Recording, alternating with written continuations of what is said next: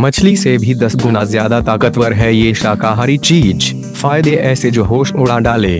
अक्सर आपने सुना होगा, जो व्यक्ति स्वस्थ नहीं होता है या कमज़ोर होता है, उसे मौस मच्छी खाने की सलाह दी जाती है, क्योंकि हर किसी को लगता है यही सबसे ताकतवर होती है। यहाँ तक जो शाकाहारी लोग होते हैं, वे भी अपनी सेहत का ख्याल रखते हुए इसे खाना शुरू कर देते हैं। लेकिन आज हम आपको एक ऐसी चीज़ के बारे में बताने जा रहे हैं, जो मछली से दस गुना ज़्यादा ताकतवर है। ये चीज़ है अलसी।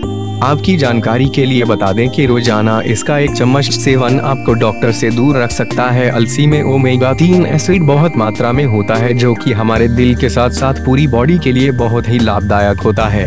रोज़ाना अलसी को खाने से कैंसर होने के चांस भी कम हो जाते हैं।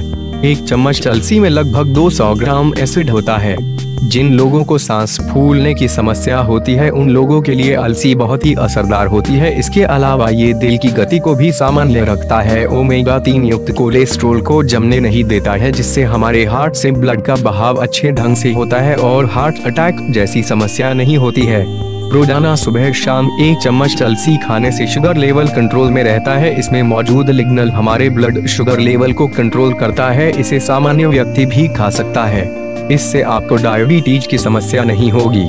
अगर किसी को कथवाली खांसी हो गई हो तो एक गिलास अलसी में आधा चम्मच अलसी पाउडर, पाँच से छह दाने मिश्री और चुटकी भर मुलेठी पाउडर और एक छोटा चम्मच नींबू रुपए डालकर इसे 10 मिनट तक तेज आँच पर उबाल लें। इसके बाद गैस को बंद कर दें और करीब दो से तीन घंटे तक ढक कर छोड़ दें। इसके बाद इसे काढ़े की तरह दिन में दोबारा पिए।